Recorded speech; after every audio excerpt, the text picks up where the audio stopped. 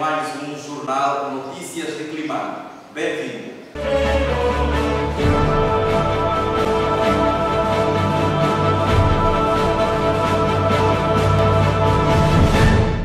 O município de Climano estabelece parcerias na 51ª edição da Feira Internacional de Maputo, FACIU 2015.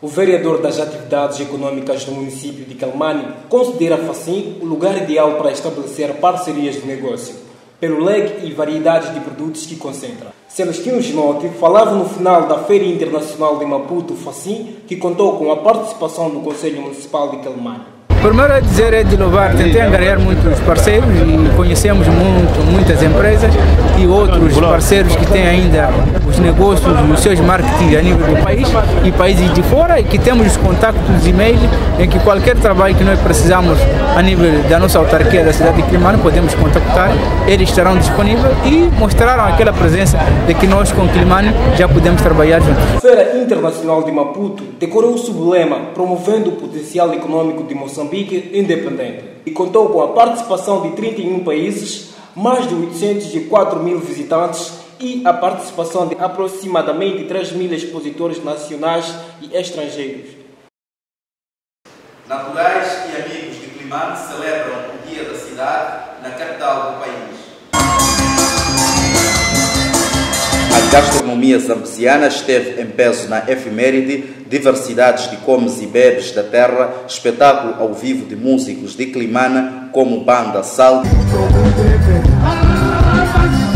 é o Ritz Jack,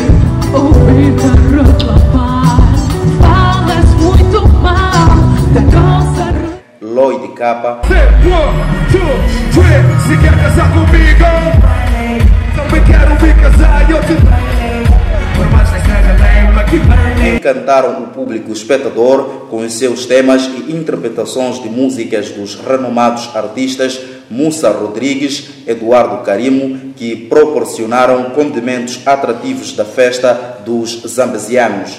No seu discurso, o presidente do município de Climane, Manuel de Araújo, avançou que a festa de Climane fica sempre incompleta se não se juntarem os climanenses e amigos de Climane residentes na cidade de Maputo. Começamos este ano com um projeto e esse projeto chama-se Quilimane 100, ou seja, daqui a 27 anos a nossa cidade vai celebrar os 100 anos de elevação a esta categoria. E o desafio que nós colocamos a cada um de nós, a cada um dos presentes aqui, mas também aos ausentes, é que nós queremos constituir uma visão comum daquilo que nós queremos que Climane seja quando Climane tiver 100 anos. O professor Dr. Lourenço do Rosário agradeceu na ocasião ao presidente do município de Climane e seus munícipes pela consideração que tem a sua personalidade por ser homenageado com a colocação do seu nome na toponímia de uma das ruas da cidade de Climane. Segundo palavras do edil Manuel de Araújo, o professor Dr. Lourenço do Rosário foi homenageado com a colocação do seu nome numa das ruas da cidade porque foi a pessoa que introduziu pela primeira vez na província da Zambésia o ensino superior, fazendo com que muitos quadros jovens zambesianos não tivessem que imigrar para Nampula, Beira ou Maputo para que alcançassem e tivessem o seu ensino superior. O senhor presidente do município é uma pessoa, quando regressou de Londres, veio conversar comigo e disse assim: qual é o futuro deste país? Eu disse: olhe, jovem, o futuro deste país é aquilo que nós experimentamos na cidade de Climane cidade de convivência de todas as ideias e todas as diferenças.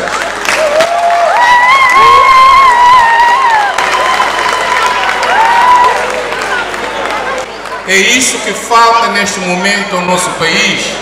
E nós, aqui, que temos a experiência de Climane, podemos ser o paradigma, a metáfora e o exemplo de como nós podemos construir o nosso futuro neste país.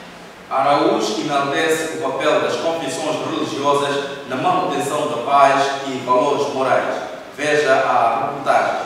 O presidente do Conselho Municipal da cidade de Climane enalteceu com veemência esta terça-feira o papel crucial das confissões religiosas na preservação da paz, identidade cultural e valores morais da sociedade. O edil de Climane falava numa entrevista por ocasião da terceira Conferência Nacional das Confissões Religiosas, um evento que decorre no campo de Sporting de Climane sob o lema O papel das confissões religiosas na manutenção da paz em Moçambique.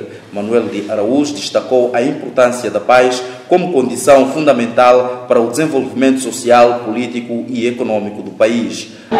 De facto, tanto da parte do chefe de Estado, do presidente Nunes, como da parte das confissões religiosas, ficou clara a mensagem para este encontro.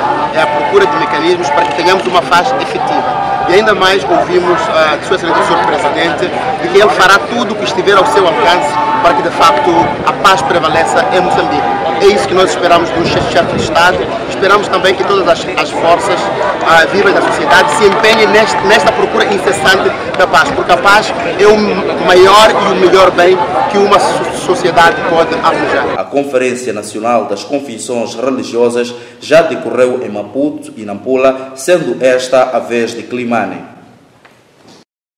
Caro telespectador, foi assim o Jornal Notícias de Climar. Voltamos a ver-nos neste canal em próximas ocasiões. Até lá, fique bem.